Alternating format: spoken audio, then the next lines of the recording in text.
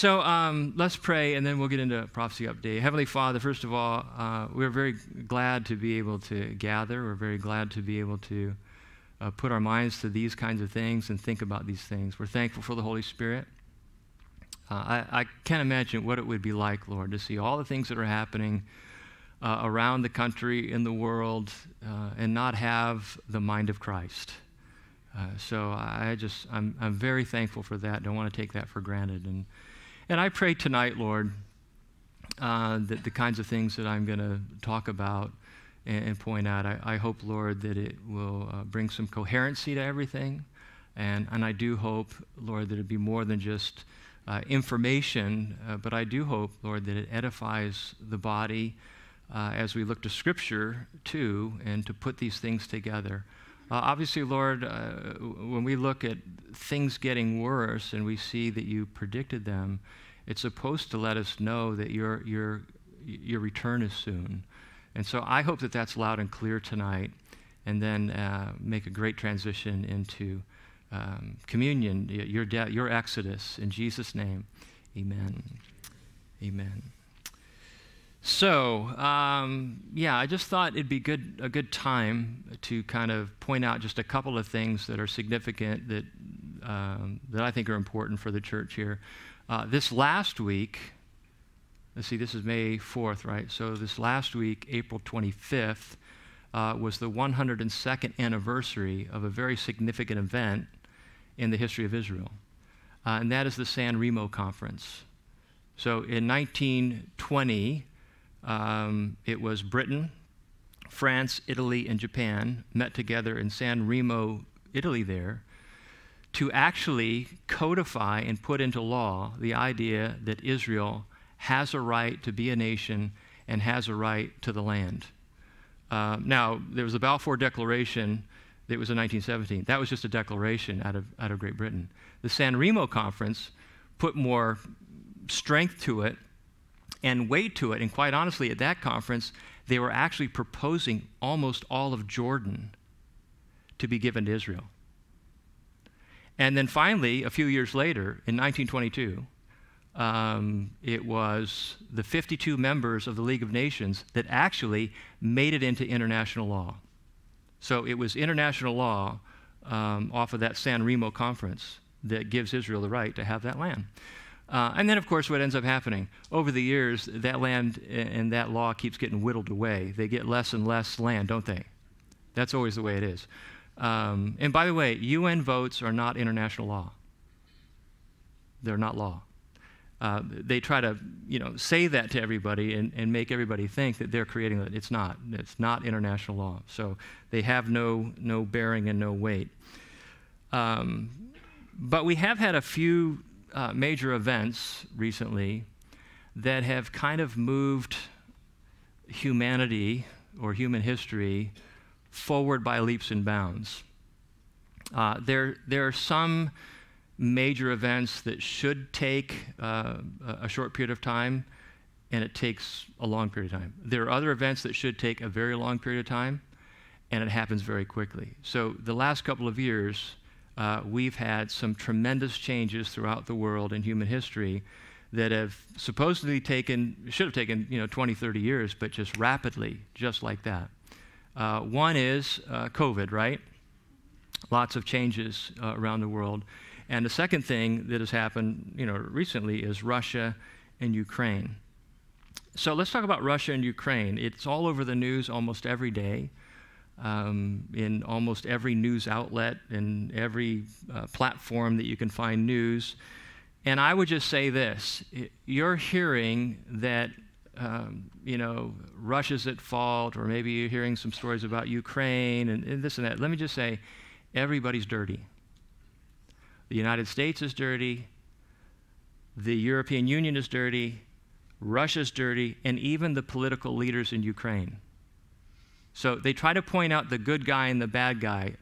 From heaven's perspective, and what I've been able to ascertain, everybody's got uh, dirt on their hands uh, for one reason or another, um, even, even China.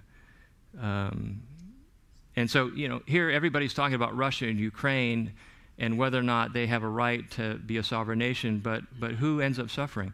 It's, it's the people, right? It, it's the people who, who Pat is helping or the Billings is helping. Those are the people who are caught in the middle of this thing.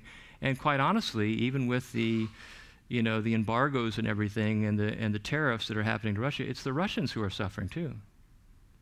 It's you who are suffering because of the added, you know, increase in, in the gas costs and the inflation and everything, right? So it, it's us, you know, serfs, if you will, as, uh, as all these people are trying to play political games. And, and I would say this I have a friend who was our guide in Israel. His name is Roman.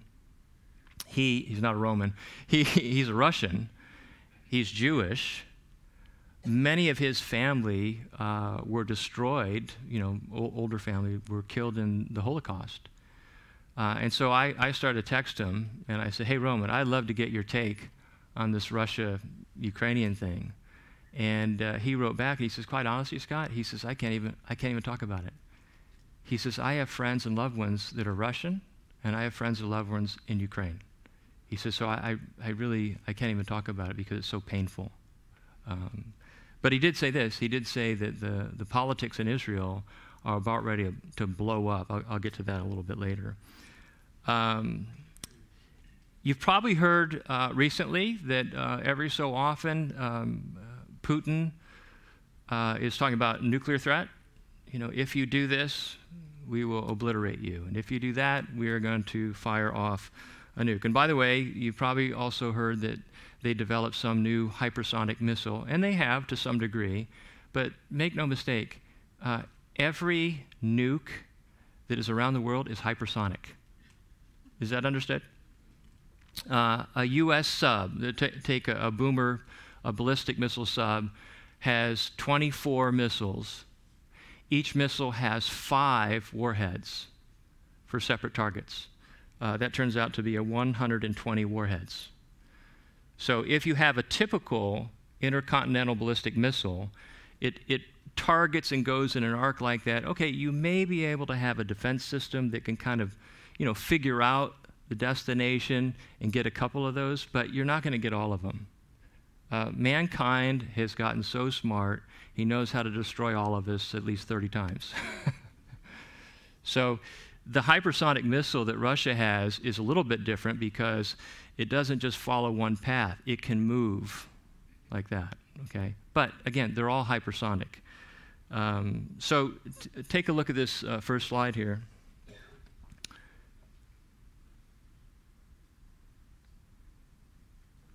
Not that slide, that slide.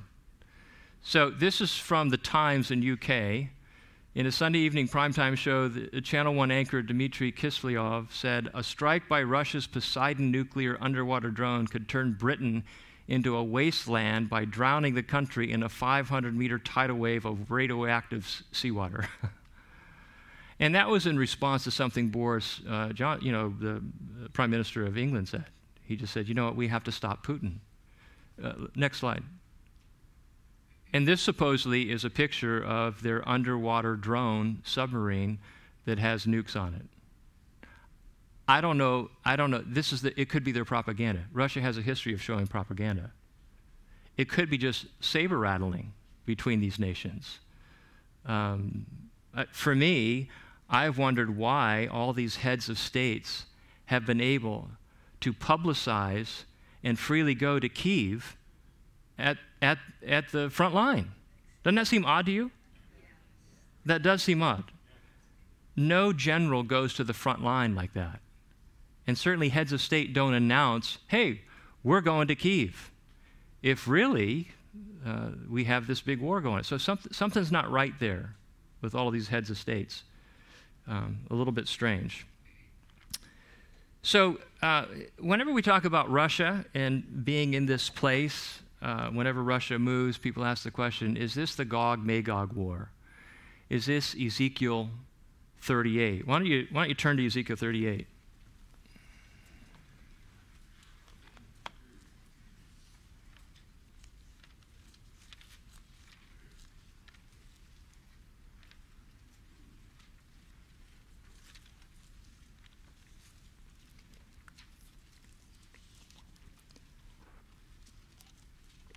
But people ask that uh, because of Russia and because anthropologists, since forever, have always read about Russia in Ezekiel 38.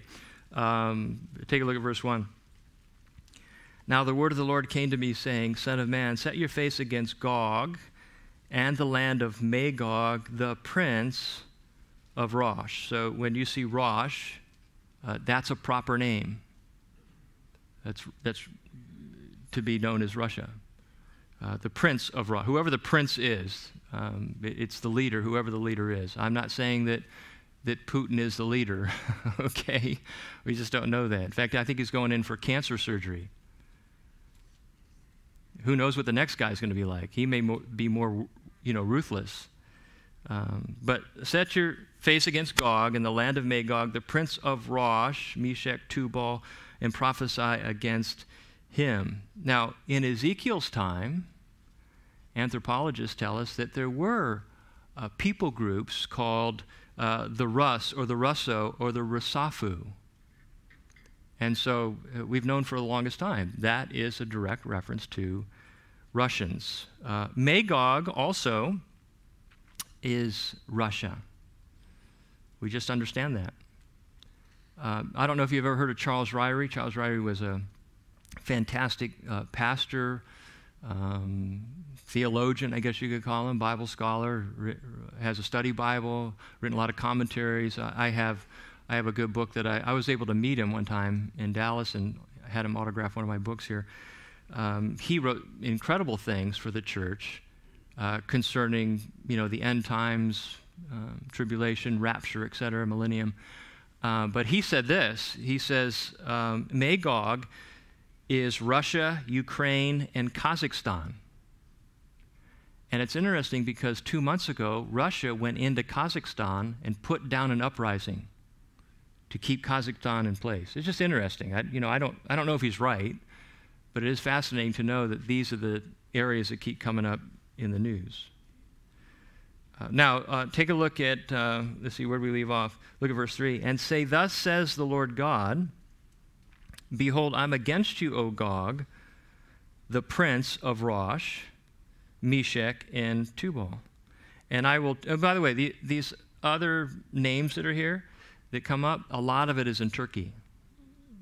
And that's why right now, if you can pay attention to Turkey, Turkey is really important in this. Turkey, Turkey, interestingly enough, is in a very precarious situation because Ukraine is just to the west of them, and they are their closest local ally. And yet, Russia to the north has over like 22, 25% of their population takes vacation in Turkey. And because Russia supplies so much gas and oil to Turkey, uh, they don't want to make Russia mad but they feel as though these are our best friends over here in Ukraine. So Turkey is really in an interesting position. And uh, Ezekiel prophesies that in the last days here, at this point in time, there's going to be some alliance between Russia, Turkey, and then we get to verse 5, some other nations here. Um, I will turn you around, I will put hooks in your jaws. And again, that's a that's an illustration of, of what the ancient military would do when they would take people hostage. For instance, when, when Babylon, Nebuchadnezzar came in and overturned Israel, when they took people away, they literally would put a hook in the jaw.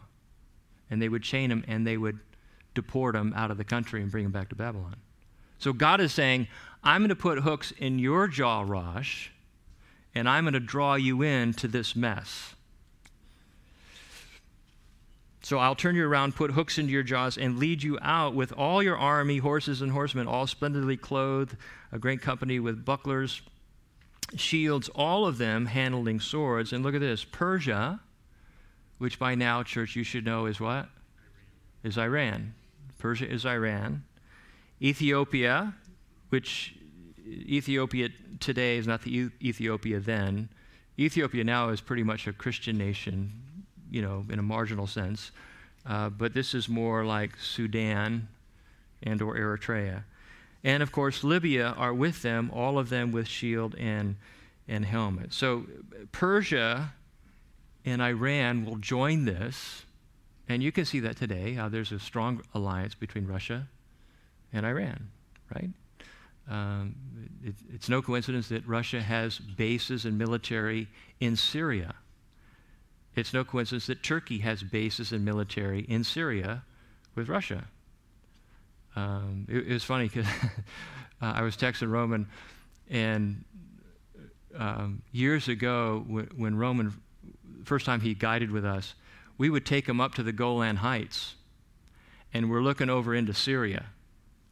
And I was telling him, I said, you know, one day Ezekiel says that Russia's going to be right there. He laughed. He goes, ha ha, ha that's never going to happen. then a couple years later, he's writing me. He's like, I can't believe this is happening. so he, he remembered that time frame. Um, um, so, it, so the question is, is what's happening today, right now, is that this in Ezekiel? And I would say no, it's not it. So I don't know what other guys are saying. I don't know if they're trying, if they're not being careful with their words. But I would say no, this is not the Gog Magog invasion uh, for a couple of reasons. Number one, I can remember when I served in the Cold War. Uh, that was right after the Civil War.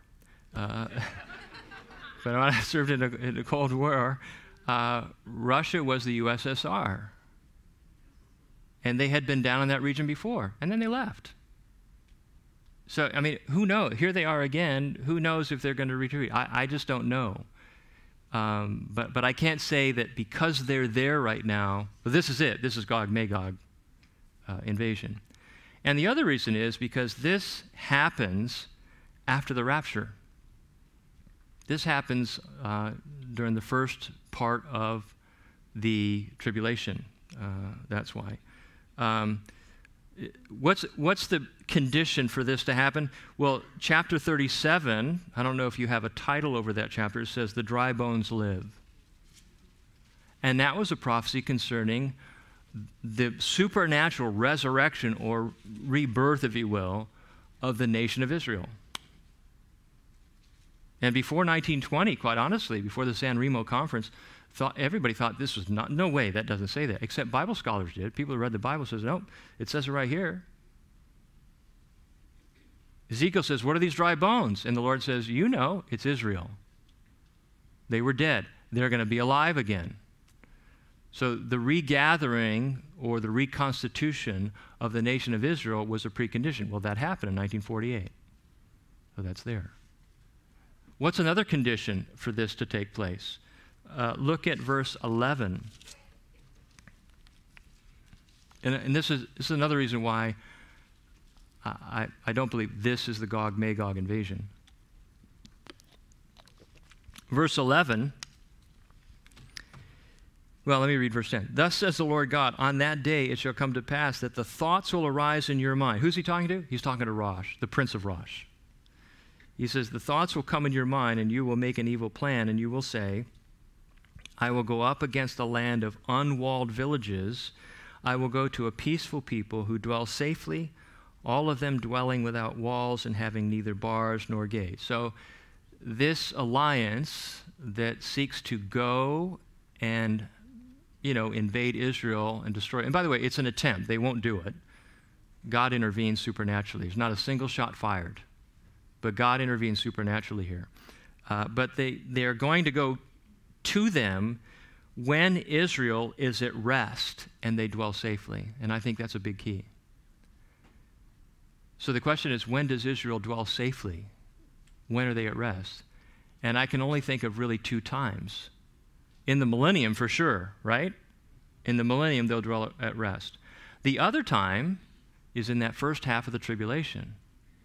Because the beginning of the tribulation is when the Antichrist makes a peace treaty to say, I will give you protection. And so that first half of the tribulation is when they dwell safely, and they have guarantees. But, but we see what's going to happen is he's going to break that treaty, he's going to break that promise. And Jesus talks about a little bit in Matthew chapter 24. Uh, and by the way, uh, you know, if, if the rapture happened today, I still think it would take some time, or years, if you will, for you know, this thing to come together and actually go down there and, and do what they want to do. So I don't think it's now, right now. Um, is it is it stage setting? Surely. You know, we're always kind of, as far as God's concerned, always kind of moving forward toward that date when that takes place. But it's stage setting. That's it. Um, next slide. Let's talk about Israel and Russia's relations. This is from timesofisrael.com. It's, it's a website that I go to. I get some news from it. I also go to allisrael.com. That's uh, Joel Osteen. No. what? no, not Joel Osteen. Joel Rosenberg. Um, uh, so Israel. Uh, allisrael.com and timesofisrael.com is a, is a couple of really good sites. But this is interesting because the prime minister of Ukraine, um, Zelensky, he's Jewish, right? And he was calling for Israel to be the place where they would hold peace talks. Well, that was really interesting. If Russia would go there with Israel and have these peace talks, that's fascinating. Um, and so relations were kind of heading in the right direction. Well, this is um, the foreign minister, Lavrov of Russia. He was in Italy in an interview, and um, he said this He said, The worst anti Semites are Jews. He was taking a shot at Zelensky, but he didn't realize he just infuriated 14 million people around the world. So the prime minister of Israel blew his stack. and so uh, you can read headlines in, in Israel on Haaretz.com or um, jpost.com of what they said. They are, they've been infuriated now. And so the relations between Russia and Israel right now, they're completely deteriorated. They're just, they're just gone. Uh, and he went on to say, he says, I believe Hitler had Jewish blood. So this, this conflict between Russia and Israel uh, somehow is going to have to get resolved so that they can dwell safely. And obviously, that will be the man, that will be the Antichrist, who will come and they're going to have to kiss and make up for a while. so that Israel, okay, there's no threat now from Russia, and they'll be at peace for three and a half years. Um, so it, it, it's fascinating to watch that relationship now. Uh, at one point, they talked about let's have our talks there, and now it's, it's uh, blown to smithereens. So now there's threats going back and forth. So that's enough of Russia and Ukraine. I, I really want to get to this part because I really want to get to what this thing is really all about. Because it's not really about Russia, it's not about Ukraine. It's not about Russia being threatened with NATO. Um, they can say all they want, but it's really about something else that they've longed to do and longed to achieve, and the Bible predicted that they would want to achieve this. Um, it, it's about the New World Order. That's what it's about. Uh, Russia can say what they want to say. The EU can say what they want to say. China can say what they want to say. The US, everybody can say what they want, but they all have their re- reasons to legitimize doing what they're doing. And that's all you need. You, you just need some moral cause to excuse or legitimize, you know, why we're invading Ukraine, right? Um, so one of the reasons that they, uh, you know, are doing this is to continue to lower the United States' power globally. But not just to lower it, but to create another power that is over the United States. Um, and one of the ways they do that is by weakening their financial power that America has wielded since the Second World War with the dollar. Um, so they've been aiming at trying to figure out how to get rid of the dollar off the reserve currency. What's the reserve currency? It's the um, it, it's it's the um, currency that is used to trade oil. And so almost every nation has used the dollar since the Second World War to trade in energy and oil. Um, show, the, show the next slide. So right now, uh, for the reserve currency, foreign exchange reserves, uh, the, the US dollar holds about 62% of everything that's traded globally. The euro is second with 20%. Now, for years, Russia has been talking about this, Iran's been talking about this, uh, China's been talking about this, and there's a lot of chatter about China, China, China, China, and how China's going to be, uh, its currency is going to be the reserve currency. The, the, is it yuan or yuan or something like that? Um, it can't be because the Chinese yuan is only 1.2%. So if the dollar's removed somehow, the, the, the yuan can't be the reserve currency. The next in line is the euro with 20%. But as you're watching what Russia has done, which looked like economic suicide to do what they're doing. So we've included all kinds of restraints on them, the euros, you know, all kinds of restraints on the economic sanctions and everything. So what did they do? They went and signed a big deal with China to supply gas and oil to them. What else did they do? They signed a big deal with India to supply all kinds of gas and oil to them. We say, okay, well, that's no big deal. Well, yeah, you have, you know, probably a third of the planet. You have more people in India than China in a smaller landmass. So you have a few billion people now that need energy. Only what's happened? Russia says, I don't want you to pay in dollars. So, what's that going to do? That's going to make this piece of pie much smaller, isn't it? That's the name of the game. Now, obviously, you don't see, is ruble on there?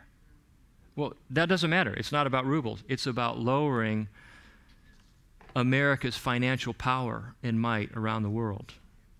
Um, so, the deal with India, the deal with China, and on top of that, there was this headline that showed China was in Saudi Arabia, and China was talking to Saudi Arabia about a deal to say, could we have some security guarantees in the region from China? China says, yeah, sure. As long as we can buy oil from you in the yuan and not dollars. What's that do? Okay, maybe that'll increase the yuan a little bit. That's not what it's about. It's about shrinking this pie even more. And why would Saudi Arabia want China to provide security? Because we have an administration in America that's going to make a deal with a madman in Iran. So, of course, Saudi Arabia is not getting any security guarantees from America anymore. I mean, if Trump was there, for sure. But they're just about ready to do this insane thing and sign this Iranian deal again and give them loads of money so they can have nukes. So, uh, of course, you know, again, God's, you know, allowing all this to happen so that he can come again. Uh, but that's, that's why, that's one of the reasons why this is happening. Now, whenever we talk about this and, uh, you know, America kind of decreasing and other countries coming up, everybody asks, well, you know, where's America in Bible prophecy? Have you ever, ever wondered that? It's a common question. Everybody asks that. Um, sometimes people look at Revelation 11, and it says there in Revelation 11 that uh, Israel, when the Antichrist comes after them, they hide in the wilderness, but, but they'll go on eagle's wings. Oh, that must be America. no, not, not, not necessarily. Biblical imagery is, is referring back to the Old Testament, how God saves them. It's, it's a supernatural thing. Um, uh, some people, if you look at verse 13, of Ezekiel 38.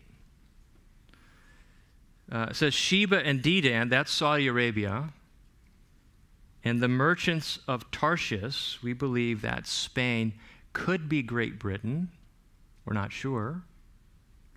So if you if you watch pastors or prophecy gurus on YouTube say that's Spain and Great Britain, no, we're we're we're, we're kind of we kind of know that. We're not sure. We're guessing. But it says, in all their young lions. And that's another passage where people say, oh, that must be America. Because the young lion of Great Britain is America. No, we, I don't think we could be so adamant. You can't, you can't say that for sure. It's kind of a stretch. Okay? So when you hear that stuff, just kind of check that at the door. We just don't know. If it's, if it's close to Sheba and Dedan and merchants with them, uh, then young lions, it, it, it could just as, you know, very well be that that deal that Israel signed with some of the, the smaller satellite Arabian states through Trump. You know, United Arab Emirates, those, those nations there. Could be that. But I, you can't say that that's America, okay? Um, so, you know, as much as we have been a superpower today, it really is hard to believe that we'll be irrelevant at some of the most crucial time in all of human history, but it, it's possible we're irrelevant. Uh, one of the ways a nation becomes irrelevant is when they get into debt. We have a little debt. Just a little, you know. I think I read today, uh, first time in, in American history, our trade deficit is $109 billion. First time over $100 billion. You know, the national debt is what? Almost 30 trillion. Um, but I think beyond that, just international political and military will with, with the current administration, we lack willpower. We have good men and women that are in the military. We have capable captains and we have capable um, you know, soldiers, but if command and control lacks the willpower to go fight or do anything, then they'll just sit there. So I, I think, yeah, I kind of see where we're at right now. Yes, we, we really do. Um, it's looking like we're, we're going to be irrelevant. Um, now, there's lots of other nations that aren't mentioned in Bible prophecy. You've heard me say that before. You never hear about Mexico, do you? Or Guatemala, or uh, Italy necessarily. I mean, you don't hear, hear, about these nations. Ireland, Scotland. You don't hear about Canada, right? Uh, so uh, that could be another reason. Uh, look at this next slide. This is called the, the Tytler cycle. Alexander Tytler was a Scotsman about the time of our nation uh, being birthed. And he said this that every democratic society in history has about a 200 year lifespan. Where are we at? We're over 200 years, right? It's just the cycle of the nation. And, and it, he says, everyone, you can track it through history, they start right here in bondage, and then they have, you know, some kind of spiritual faith, you know, that puts them together. And then they have courage and then they have liberty. And then they have abundance. And then they have selfishness, complacency, apathy, dependence. So, where do you think we are in this? Over here? Right here. We're right here, right? No, right here? No, no. Right over here? So it's interesting, isn't it? Now, you know, again, who knows? I mean, we've had great awakenings before. There have been times in America when the tide was way out spiritually. I mean, churches were empty. Uh, Christians had to hide on campuses at Harvard and Yale. These were Christian schools at the time. They got so bad. Alcoholism, um, you know, sexual promiscuity, just horrible. And then all of a sudden, people got desperate enough and they start calling on God. Lord, we, can, we need help. We need help from you. And then he comes in as a lifesaver. And then there's a, a revival, like I was saying, through repentance and contrition. And then he revives the nation again. So we've had these great awakenings. Who knows? You know, this thing at the Supreme Court, maybe, maybe God would grant us, you know, some more years. Maybe God would breathe on us and give us life again to the degree that we're faithful to Israel, that, that certainly goes in our favor as well. If you bless Israel, I'll bless you. That may be the only thing that's holding us together here right now. But, but this thing at the Supreme Court is f- phenomenal, remarkable. Uh, I probably won't change New York per se. Um, but that doesn't, that doesn't change what we do. We still are going to save one life at a time, aren't we? That's what we do. Uh, but it is interesting that, uh, how, that, how that circle goes. Um, so if America is, is waning, um, this, this, I believe, is what's really important. Next slide. Uh, the rise of the European superpower. And I'll show you why um, uh, in a minute here. Uh, turn over to Daniel chapter 2. Excuse me. Daniel chapter 2.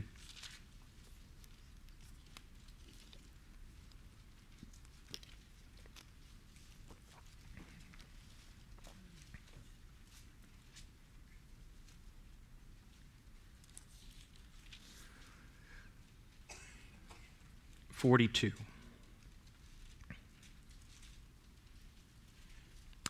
Nebuchadnezzar has this dream. It's one of the most far reaching prophecies in all of the Bible.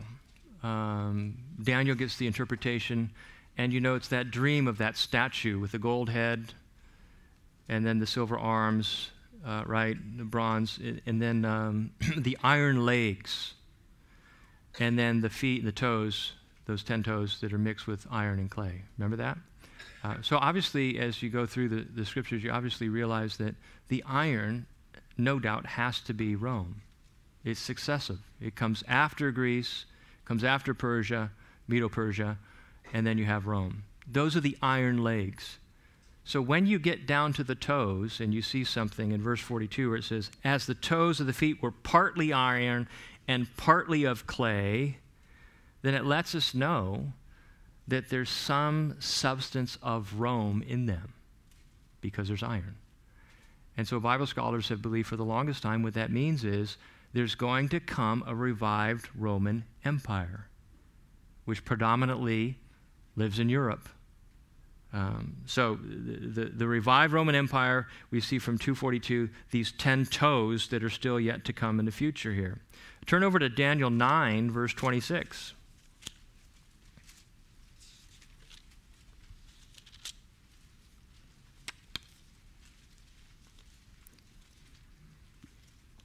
Daniel gets a prophecy here. Well, actually, he's told by the angel concerning Israel that Messiah would come. And Messiah, Jesus, would be cut off, if you will, and we know he was crucified. Uh, but look at verse 26. After the 62 weeks, Messiah shall be cut off, but not for himself, and the people of the prince who is to come shall destroy the city and the sanctuary. So remember, after Jesus was cut off, the temple in Jerusalem was destroyed, right? And who was it destroyed by? It was destroyed by the Romans. But here, Daniel is told by the angel, the people of the prince who is to come. That's speaking of the Antichrist. And who is he from?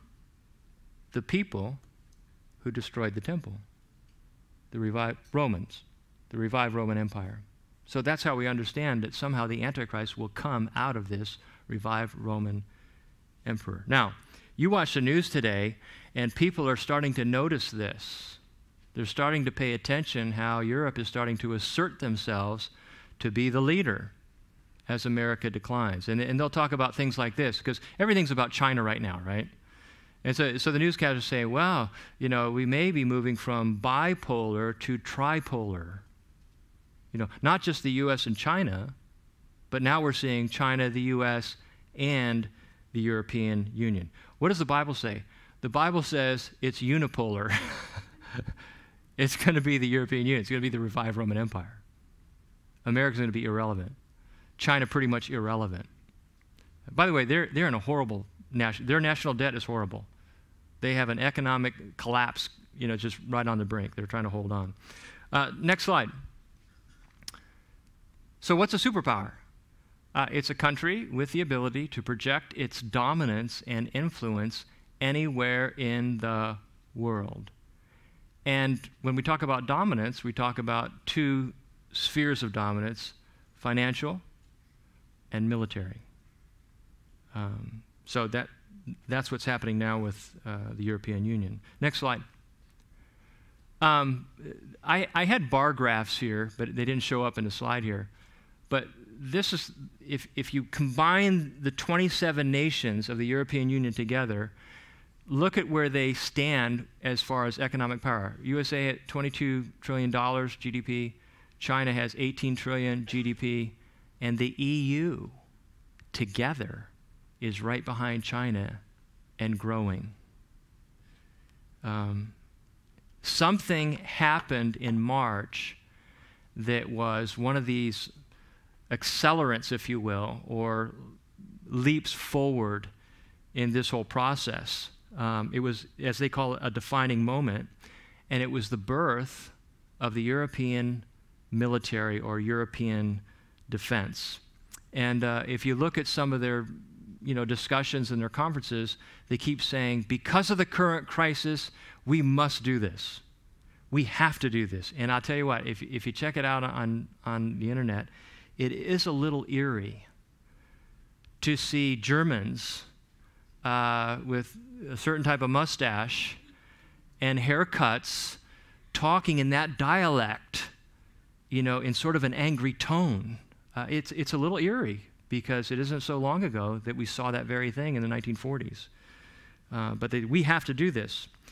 Um, but in March, NATO Secretary um, Jens Stoltenberg, he had a major press conference and he announced to everybody, he said, he said right to Russia, he says, Putin, you cannot win a nuclear exchange. You will not win. And then he had a direct threat and a challenge to China. We don't like what you're doing, what you're doing. You're going to have to pick a different side. I mean, it was, it was fairly confrontational. He then went on to say, We already have 100,000 U.S. troops right here in Europe. We have five carrier groups of the Allies in either the North Atlantic or the Mediterranean. Now, a carrier group has aircraft carriers, it has destroyers, it has submarines, it's full complement. Five carrier groups all around. Um, and they are, in, in March, they launched this gigantic arms spending spree. Um, next slide. So this, these are their graphics, by the way. This is European Union graphics. So they have put this out, the Joint Defense Agreement. Um, it's not so much NATO per se, it's European Union. So an attack on one is an attack on all of them. Um, uh, next, next slide.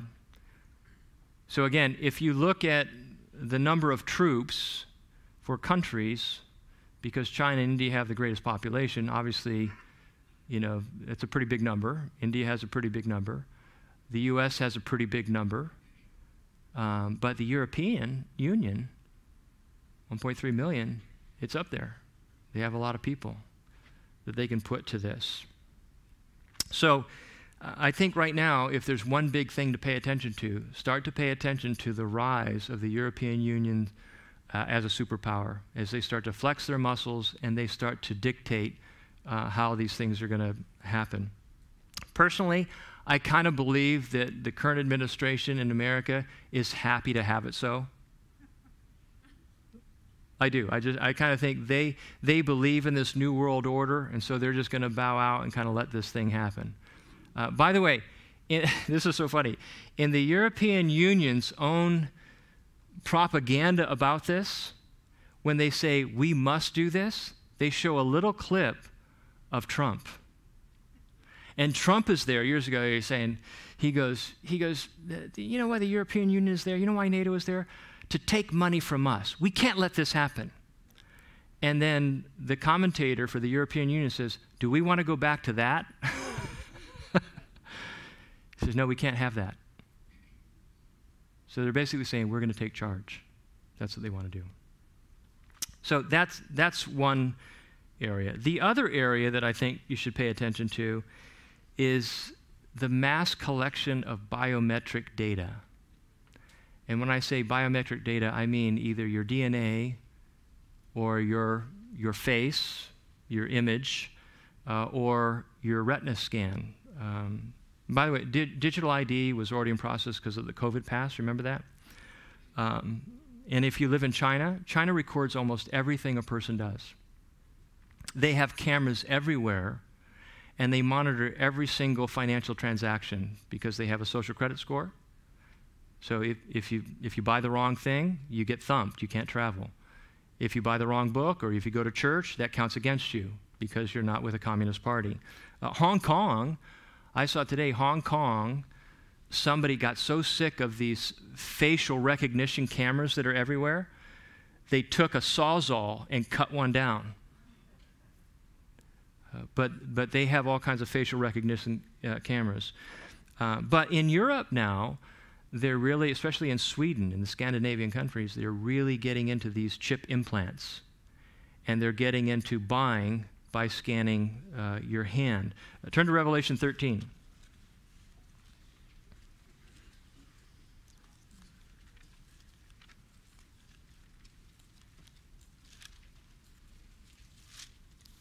Somebody called cross section yesterday, and we got talking about this, about the false prophet.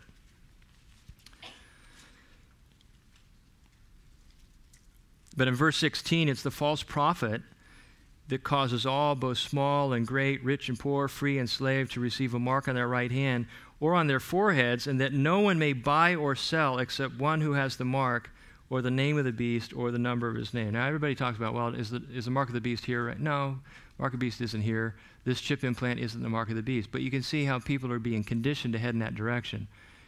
Um, but, but I will say this it won't be against people's will. It, it, people will line up for it.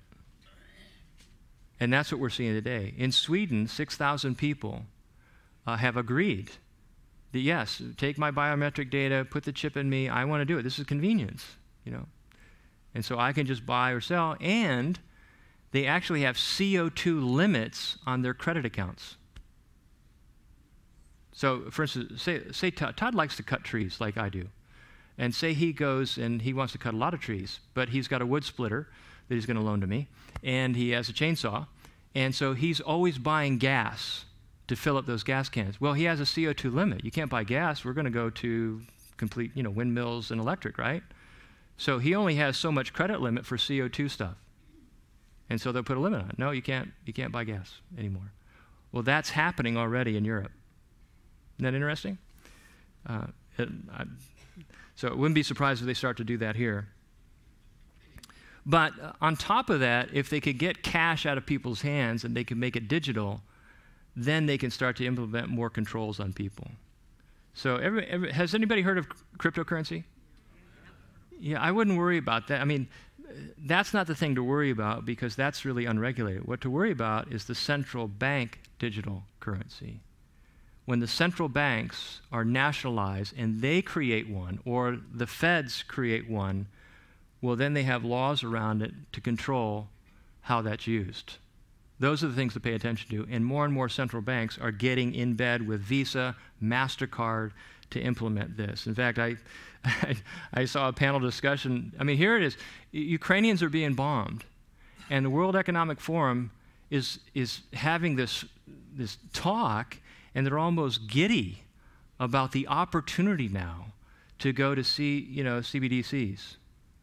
And then they have to stop themselves and they say, oh, oh, oh of course, we, we have to make sure uh, that people have personal safeguards. You know, it's almost like they had to catch themselves, you know. Um, we, uh, yeah, what they said was, of course, we have to put in place consumer protection. Um, but look at this. Next slide. A company called WorldCoin um, now valued at $1 billion, has grand plans to get you to gaze into the orb. Um, I read another article. There's, they've done 130,000 people. They have scanned their faces and their eyes, and, and they go into poor countries. They've gone into Indonesia um, and like poor countries, and they've offered them money. Look, we'll give you a lot of money if you let us collect your face and scan your retina and keep that data. And how much is a lot of money, do you think? For them? $25. I read another article where 500,000 people did it. Uh, next slide. Here's the orb. So you bring that kind of fascinating technology into third world or fifth world countries for $25? That'll go a long way. Uh, and, and they do it. Uh, and they are, in the article, it says they're betting billions will line up to do it. So poor nations are doing it. And right now, uh, production stands at 4,000 orbs a month that they're producing. Um, they're working on getting orb operations around the world. And uh, make no mistake, um, you know, Silicon Valley has all kinds of companies that are gearing up to compete uh, to be on the leading edge of this. Um, so the United Nations is collecting biogra- uh, biometric data of Ukrainian refugees today. Why? You know, why are we doing that? Uh, but I think this is another thing that kind of heads into this totalitarian control of people to collect information. So the rise of the EU, the rise of biometric data, uh, that, that's something uh, to pay attention to. Um, I do want to say one more thing here.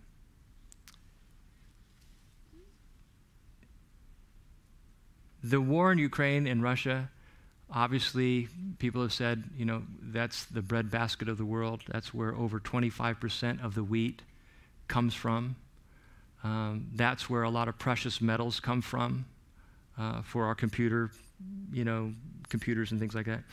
Uh, and so there's a lot of people who are talking about coming massive shortages in our stores, um, in our grocery stores, and things like that. And to be honest, I, I've, I've heard of pastors, I've seen pastors talk about this thing and almost create more fear in people.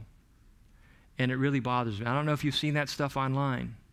And so what they're doing is they're telling people, you need to prepare. You need to know this is coming right now. And, and I just want to say, it, it kind of reminds me of Y2K.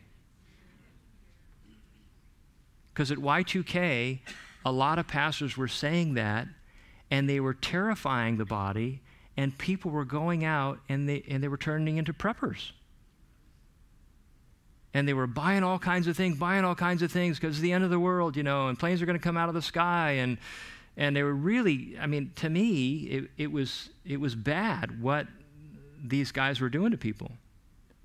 They're making disciples, but they're making the wrong kind of disciples. You know, I'm not telling you to go out and prepare. Uh, quite honestly, you can't prepare enough if that happens. Save for a rainy day? Absolutely. Save for, you know, a week or two or something like that, or, you know, you can. But if something like that happens for a prolonged time and everything is hit and, you know, no, you can't prepare for that. And I don't think it's right for a shepherd to scare people. I think it's, I think it's right for, for a shepherd to point them in the right direction so they can handle it. And every time in human history, no matter what it is, I mean, this is what this Bible is all about.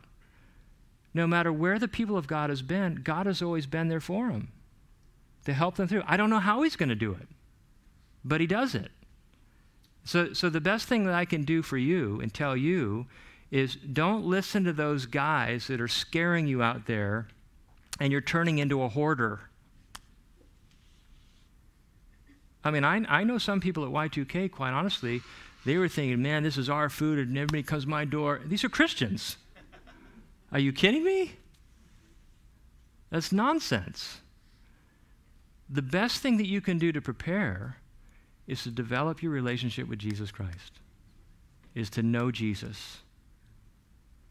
Let Him fill your heart and your mind with absolute trust and confidence in Him that He is Jehovah Jireh. That's what you need to do. I'm not saying don't save up. I'm not saying don't get some things to prepare for something. But honestly, you can't prepare for the end of the world. you just can't. And it would just drive you crazy. And it will make you lose sleep. Or it'll make you go talk to a counselor or something. Or take medication or something. That's not the peace of God. That's not it at all. Um, so, I mean, this Bible is filled with, uh, you know, people who've been in desperate situation, and somehow, some way, God came in and helped. Um, so, I, I, I think the best thing that you and I can do is deepen our relationship with Jesus and know Him. Okay? Any questions? Do we have questions tonight? No math questions. Anything at all that you've seen on the news or whatever? Yeah. Can you explain the, the orb biometric stuff a little bit more? What's happening in that? Because I wasn't understanding. Yeah. Well, you can find the article on CoinDesk. Okay. Uh, can you put the, the last slide up? Yeah, it doesn't really show up. But it, it's at CoinDesk, and, and all you do do a search for orb. But it, it's, it's the thing where, you know, information now is worth a lot of money. And so we're, we're in this information age, and all these companies, Google, Apple, uh, you know, Twitter, Amazon, they're all after it somehow, some way. And so these companies, they're jumping on, and so this orb comes along, and if they can collect information on people, then they can take the next step and move into this whole digitally controlled era. Um, so. Yeah.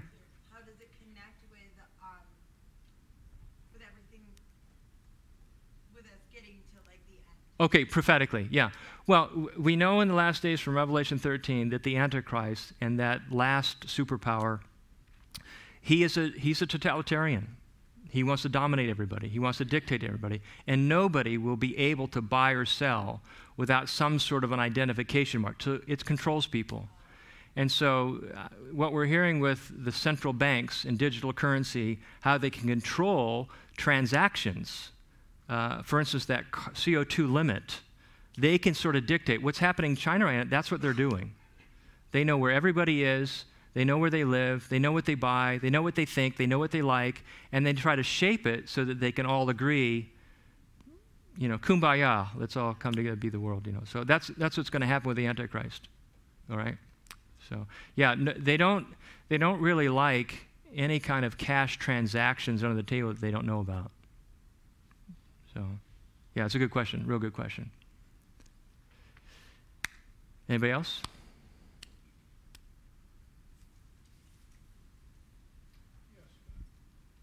Yeah, Dario. you said that the people are, are getting, they're gazing into the orb for money. money. Well, they offer $25 to these people, and people are just lining up. I mean, to them, it's a lot of money. But I think they're taking advantage. I think they're exploiting people. That's what they're doing. They're exploiting people. But it just shows you how people, I mean, look, younger people, look what people, Instagram was a step in the Facebook was a step in the direction. Instagram was another step in the direction. TikTok was a whole other step in the direction. People put their whole lives out there. I want people to know me. I want people to know my whole life. That's all been collected, that's all been given to a company. So, younger people, quite honestly, are already conditioned to this kind of thing. What's the big deal?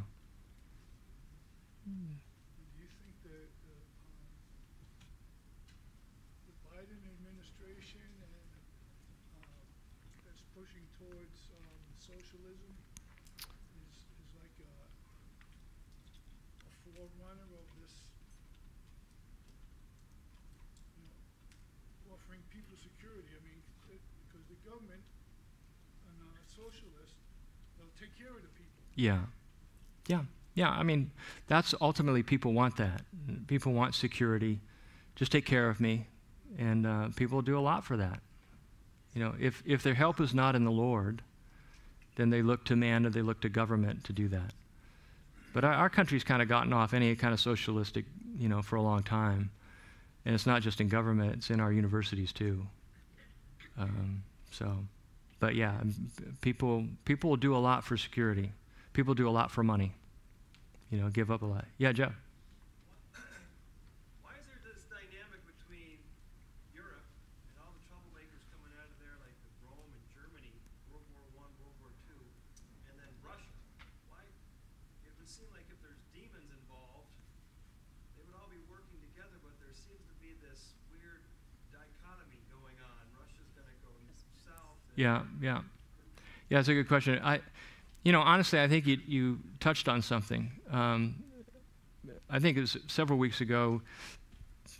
Um, we kind of looked at Daniel, where Daniel, you know, in Daniel chapter 9, he's praying. He's like, okay, we're at the end of 70 years, and he's, he's talking to the Lord. And then the angel comes to him, and he says, you know what, I would have come here, however, I was in a little battle, and the prince of Persia or prince of Greece, you know, obstructed me. I had, I had to I had to knock him out. No, I had to fight him off. I would have been here sooner, uh, but I was delayed three weeks because of that. And so we do understand that there is supernatural demonic powers behind major geographical areas or cities, and you know, even possibly Albany or Washington D.C. Right? So it is interesting that Germany's coming up again because when you watch the films of some of these Germans, it really looks eerie. It looks like it's the same kind of influence. Um, you know, and again, they, since the Second World War, they've had a pacifist kind of mindset. Look, we're not going there. There's a huge liberal, um, I would say, um, population, populace in Germany uh, that is worried about neo Nazism, right? Uh, Japan, for the most part, has been pacifist. It's, it's kind of putting in their constitution post Second World War. We don't want to do that. Well, now all of a sudden, there are Russian ships and Chinese ships that are encircling Japan, and now there's this new move in Japan to say, hey, you know what, we got to do something. So, but yeah, I think you're onto something. There's something in Germany there. Um, but, you know, the Lord said that the Antichrist is going to come out of that whole, you know, affiliation. Yeah. Yeah. Yeah, Bob. What is the best way to minister or witness to folks that are being drawn into this deception in our daily lives? Well, I would say this. You know, the, the first point of contact, they see what you see. And I think the first thing you could do is, yeah, man, this is crazy, but the Bible predicted it would happen. I think that's the first thing. You know, point to the Word. And, um, and I think the next thing is to let them know all that stuff that's being promised is a false hope. You know, you have the real hope. That's what I would do. I would, I would point to that, point to the script. This has been predicted. You're not surprised. Uh, and here's why. And then I would, I would get them to the Lord. That's what I would do. Now, you and I, you know, we're, quite honestly, we're, we're looking for the rapture, right? The Lord's going to come. And that, you know, Gog Magog, that's after the rapture. You know, I don't think we should obsess about it like a lot of Christians are. Um, you know, again, you know, we got to develop our own relationship with Jesus, get close to Jesus. I think the best thing is we pull closer together as brothers and sisters. Um, so I think that that's important.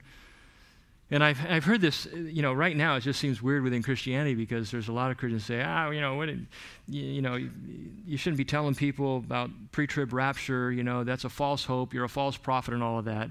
You're, you're not preparing people. And I'm thinking, what are you talking about? I mean, how are you preparing people? you know, you can't prepare people for the tribulation. What are you doing? They're not doing anything. So it's not a false hope. It's what the Bible teaches. In fact, turn to, turn to Revelation 3.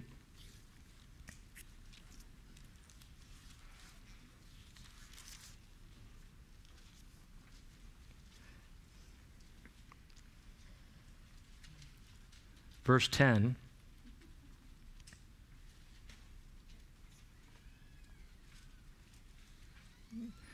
Jesus writes to the church at Philadelphia, which is the, which is the true church, down through the ages through any problem whatsoever, through any problem in human history. And he says, Because you have kept my command to persevere. Well, that's a good word for us, don't you agree? That's the word, persevere. You got to keep at it. Don't give up. Don't quit. Right now, the enemy, it's, it's an all out assault to get Christians to quit.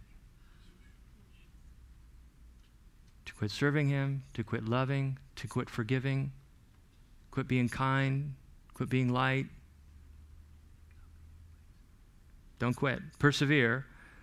And I will I also will keep you, look at this, from the hour of trial which shall come upon the whole world. He doesn't say I'll keep you from trials. He says I'll keep you from the hour of the time of trial. The the one time of trial that occurs on the whole world, which is what? John knows it's the tribulation. So here, here's the church. True believers will be kept from that time period, that, those seven years. I'll keep you from that time. Which shall come upon the whole world to test those who dwell on the earth. Behold, I'm coming quickly. Hold fast what you have. Hold fast. That's That's that Dutch term, hold tight. Uh, sometimes Paul would use that hold fast to the gospel, hold fast to what is good.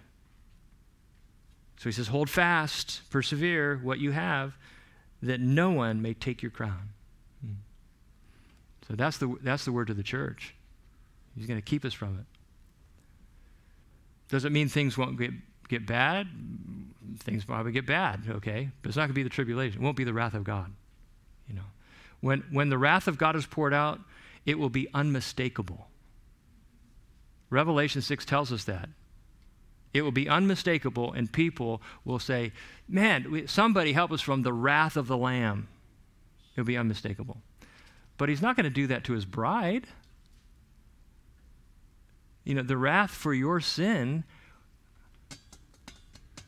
was already taken care of, right?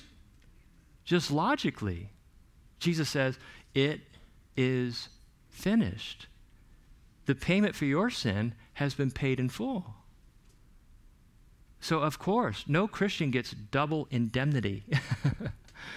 There's no way he would do that to his bride in the tribulation because Jesus already paid that penalty. Otherwise, what's the point? Why did he go to the cross? So, that should give you assurance and confidence. So, any other question? Yes.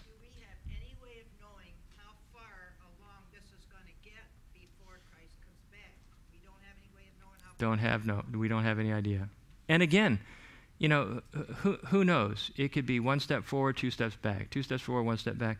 You know, I, I, it just you can't tell. You know, um, we're in a stage setting, you know, time frame right now. Um, I, do, I do see the rise of, of the EU. You know, that's, they're probably going to continue to head in that direction. You know, um, more and more control over people. I think that's going to continue to trend, you know.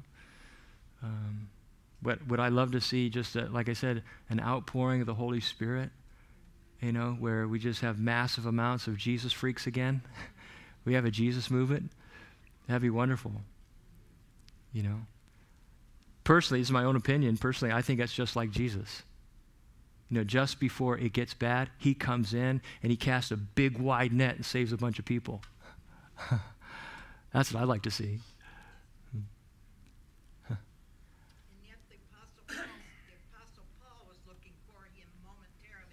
Exactly.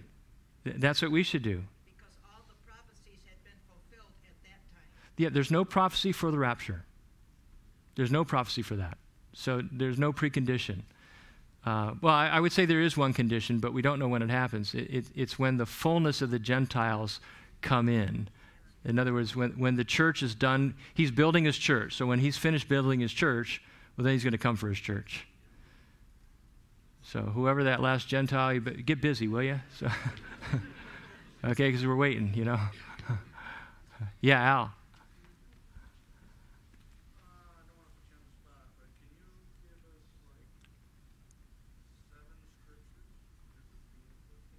I can't hear you. I don't have my hearing aids in.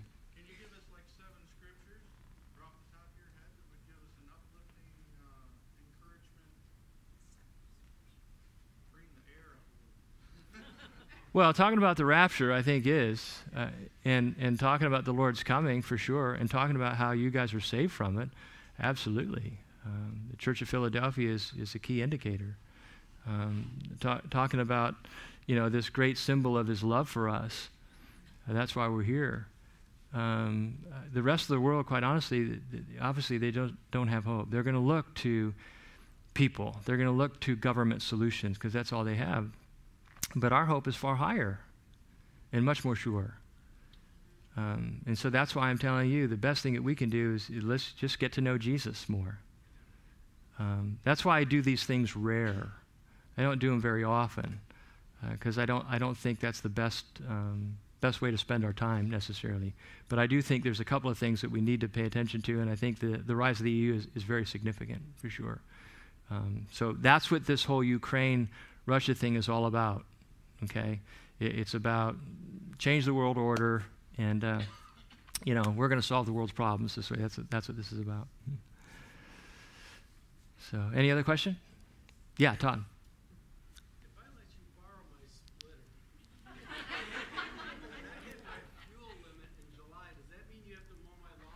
It, it does, it does, but I'm going to need to use your electric mower.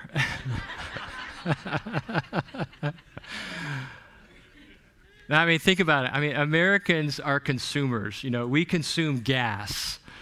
I mean, I, I just don't know how that would wash with us. You know, I mean, just, I just try, try to.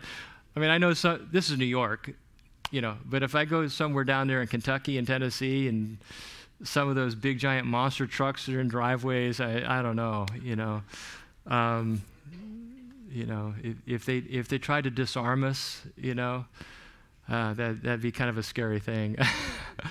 but it's not in the Bible, so I don't know. yeah. Any other questions? No. Okay, that's good. All right, worship team, you guys want to come up? Let's let's turn. Ushers, can you come up here? Um, so I, yeah, I, I, am glad we got to Revelation three, because I, I really, I really wanted to read that because it, it's to us, and and I like that word, hold fast and persevere. Um, it's so important for us it, to hold fast to Jesus Christ and know that He's holding fast to you and I. Um, I think it's I think it's great that the Holy Spirit has let us know these things ahead of time so that we can put it in perspective. You know, and we don't have to fear. We don't have to be afraid. We don't have to think, well, you know, everything's out of control. Uh, the pieces actually are coming all together. That's what you can know. Um, the pace, who knows, you know. Um, let's pray. Heavenly Father, first of all, I'd like to thank you so much for the flock tonight and their interest and their desire. You, you see the hearts here. Um, Lord, we, we've, we've gone to Scripture tonight. We've gone to Daniel, and we've gone to Ezekiel, we've gone to Revelation. Uh, you, you have been so good to let us know ahead of time. And it just it reminds us how you love us. Uh, Father, we pray that your kingdom would come. We pray that you would, uh, as, uh, as Revelation says there, that you come quickly. In Jesus' name we pray. Amen.